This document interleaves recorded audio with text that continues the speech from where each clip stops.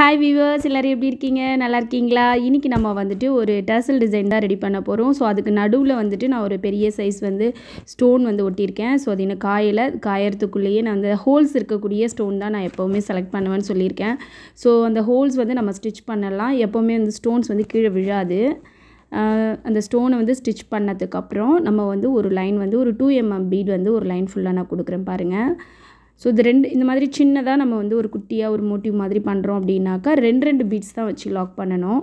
So அதுக்கப்புறம் அந்த shape அந்த ரவுண்ட் ஷேப்புடைய கரெக்டான அளவு எடுத்துக்கோங்க. அதுக்கேற்ற மாதிரி ரன்னிங் செயின் வந்து கட் பண்ணிவிட்டு க்ளூ போட்டு நம்ம ஒட்டிக்கலாம். ஸோ நம்ம டேரெக்டாக அப்படியே வந்து ஸ்டிச் பண்ணுறதுனால ஓகே ஒன்றும் ப்ராப்ளம் இல்லை.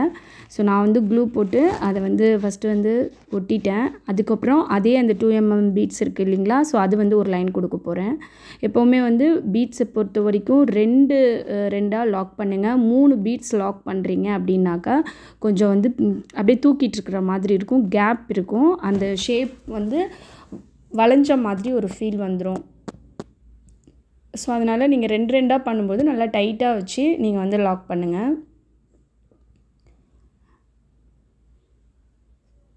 ஸோ கரெக்டாக வந்து நீங்கள் த்ரெட்டில் பண்ணும்பொழுது எப்போவும் ப்ளவுஸுடைய கலருக்கு ஆப்டாக நீங்கள் எடுத்துக்கோங்க. அந்த த்ரெட்டு நார்மல் இந்த தையல் மிஷினுக்கு போடக்கூடிய அந்த த்ரெட்டு தான் எடுத்திருக்கேன் நான். ஸோ இப்போ இந்த டூ எம்எம் பீட் ஒரு லைன் முடிச்சதுக்கப்புறம் சுகர் பீட் கொடுக்க போகிறேன் ஸோ சுகர் பீட் ஒரு லைன் ஃபுல்லாக கொடுத்ததுக்கப்புறம் ஒரு மூணு லைன் சரி. சிம்பிள் இந்த பேட்ச் முடிஞ்சிருச்சு அவ்வளோதான் அதே மாதிரி நாலு பேட்ச் வேணும் நம்மளுக்கு. நாலு பேட்ச் இருந்ததுனா தான் நம்ம அந்த டர்சல் டிசைன்ஸ் ரெடி பண்ண முடியும். ஏன்னா ஒரு ஒரு நாட்டில் வந்து ஒரு டர்சல் தொங்க விடும்பொழுது ரெண்டு சைடு இருக்கும் இல்லைங்களா? அந்த ரெண்டு சைடும் ஈவனாக ஒரே மாதிரி இருக்கணுன்றதுக்காக நாலு இருந்து ரெடி பண்ணணும். ஸோ இது வந்து நான் ரெடி பண்ணும்பொழுது நான் தைக்கும் பொழுது நான் எடுக்கல வீடியோ ஸோ சிம்பிள் தான் அது. அந்த நாட்டை வந்து ஒரு இடத்துல கரெக்டாக அந்த ரெண்டு ரெண்டு பேட்சையும் உள்பக்கத்தில் ஒன்றா வைக்கும் பொழுது அந்த நாட் ஃபஸ்ட்டு வந்து ஸ்டிச் பண்ணி அப்படியே அந்த பிசுரை உள்ளே அடக்கி நார்மலாக ஒரு காஜா கட்டும் பொழுது ஒரு ஸ்டிச் போடுவோம் இல்லைங்களா? ஸோ அந்த மாதிரி ஸ்டிச் தான் ஃபுல்லாக போட்டு முடிக்கிற சமயத்தில் உள்ள ஸ்டஃபிங் கொஞ்சம் துணி உள்ளே தான் பிசுறாக இருக்கக்கூடிய கட்டிங்கில் மீறக்கூடிய அந்த துணியை தான் ஸ்டஃபிங்க்குள்ளே வச்சு அந்த கேப்பையும் ஃபில்லப் பண்ணோம். கீழே வந்துட்டு ஒரு மணி வீக்கெட்க்கு நம்ம தொங்க விடுவோம் இல்லைங்களா? ஸோ அந்த மணி இதே ஆரஞ்சு கலருக்கு மேட்சிங்காக கிடச்சிது.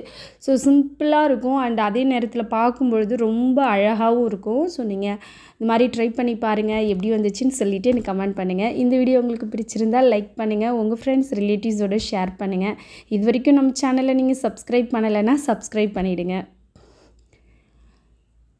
ஸோ மூணு லைன் சரி போடும்பொழுது நம்மளுக்கு நாலு லைன் போட்டால் கூட கொஞ்சம் நல்லா இருக்கிற மாதிரி தான் இருந்துச்சு. துணி அகலமாக இருக்குது அப்படிங்கிற பட்சத்தில் நம்ம மெஷின்லேயே த தச்சு நம்ம திருப்பிக்கலாம். அப்படி திருப்பும் பொழுது என்ன அதில் ஒரு விஷயம் வருதுன்னா அந்த ப்ளவுஸுடைய கலர் வந்து ரவுண்டில் பைப்பிங் மாதிரி வருது. அதுவும் நல்லா தான் இருக்குது ஸோ உங்களுக்கு எது ஈஸி மெத்தடோ அதை மாதிரி நீங்கள் ட்ரை பண்ணி பாருங்கள் ஸோ இந்த நாலு பேட்சுமே நான் வந்து பேக் சைடில் இருக்கக்கூடிய அந்த துணி கட்டிங்கில் வரும் இல்லைங்களா? ஸோ அந்த துணியிலே நான் போட்டுட்டேன். ஸோ நான் ரெடி பண்ணி முடிச்சதுக்கப்புறம் இது இப்படி தான் இருந்தது. ரொம்ப அழகாக இருந்தது. பார்க்குறதுக்கு ரொம்ப ரொம்ப சூப்பராக இருந்தது. இதோடைய ஸ்லீவ் டிசைன் வந்து பார்த்திங்கன்னா அதுவும் ரொம்ப அழகான டிசைன் அதாண்டு எனக்கு எப்படி சொல்கிறது அது வந்து ஒரு ஐடியாவே இல்லை. ஆனால் அதுவும் நல்லா செய்யணும் பெஸ்ட்டாக செய்யணும்னு சொல்லிட்டு அது பண்ணேன் அந்த எக்ஸ்பீரியன்ஸ் கண்டிப்பாக நான் உங்களோட ஷேர் பண்ணுறேன் அதுக்கு முன்னாடி நம்ம சேனலை நீங்கள் சப்ஸ்கிரைப் பண்ணலைன்னா சப்ஸ்கிரைப் பண்ணிவிடுங்க வீடியோ பார்த்ததற்கு நன்றி.